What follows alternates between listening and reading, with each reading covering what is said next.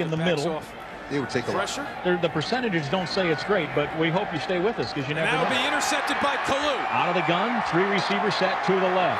Showing blitz is He Kalu. Now he'll back The away. 20, Mo- um, the May 10, comes in motion. Mitchell touchdown, to the left.